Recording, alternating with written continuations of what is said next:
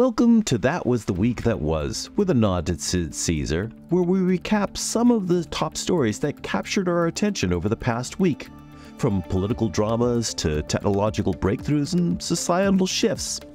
Let's dive into the highlights from Monday through Friday.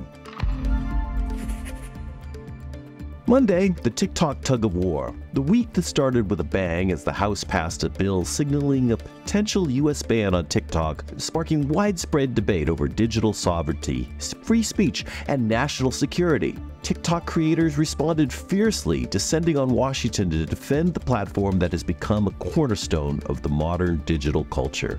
Tuesday, political tensions and calls for peace amid escalating violence in Gaza. Prominent political voices, including President Biden and Senate Majority Leader Chuck Schumer, expressed deep concerns over Israeli Prime Minister Netanyahu's policies.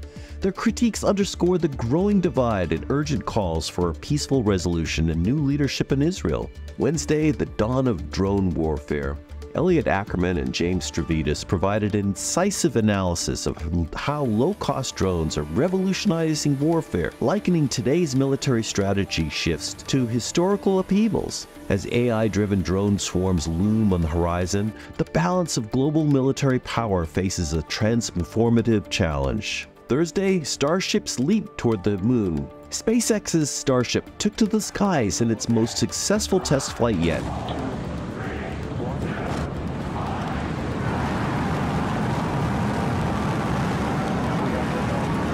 Marking a significant step forward in space exploration and the quest to return astronauts to the moon. Despite a fiery conclusion, the mission was hailed as a pivotal advancement for the future of interstellar travel. Friday, a real estate revolution. The real estate industry braced for a seismic shift as the National Association of Realtors reached a landmark settlement, potentially lowering commission rates and reshaping how Americans buy and sell homes. This move could democratize the housing market, challenging long-standing practices and empowering consumers. Throughout the week, we witnessed the power of technology to unite and divide the ongoing struggle for peace and justice on the global stage, the relentless march of innovation reshaping our world.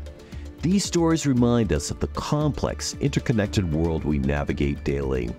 And that's our wrap up for That Was the Week That Was. Join us next week as we continue to explore the stories that shape our world. And don't forget to like, share, and subscribe for more insights and updates, and I will see you next week.